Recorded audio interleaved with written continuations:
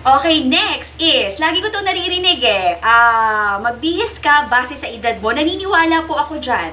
Pero hindi naman po to the point na hinahadlangan mo naman yung sarili mo na magbihis base sa kakayahan mo dahil feeling mo may edad ka na. At my age, I'm very proud. I'm 42 years old.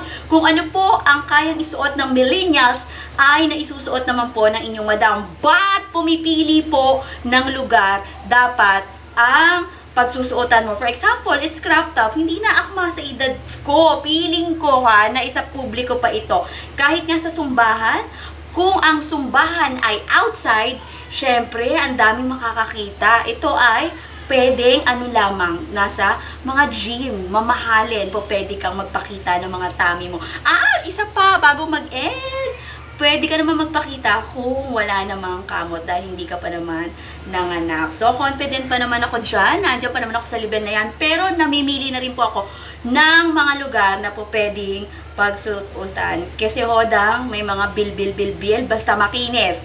Yun lamang po, ito po, ang inyong Madam UK na pa, naka-crop topping